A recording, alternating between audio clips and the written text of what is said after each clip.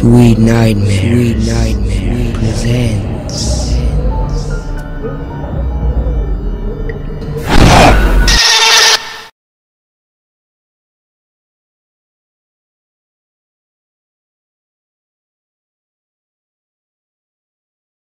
Washed away.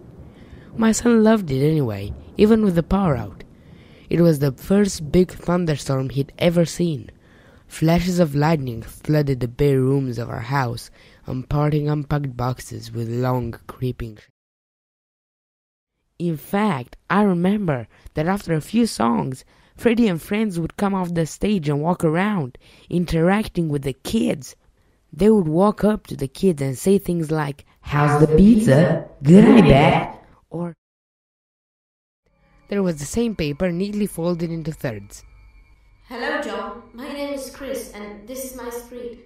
I used to have a cat, and I like writing. How old are you? Please write back. I responded as any adult. Say slowly, Tilly, I'm on the first step. Tilly was too scared to get up and look. The next night, she heard the little. But you realize something. The door is open. You remember exactly how you closed it. But what if you didn't?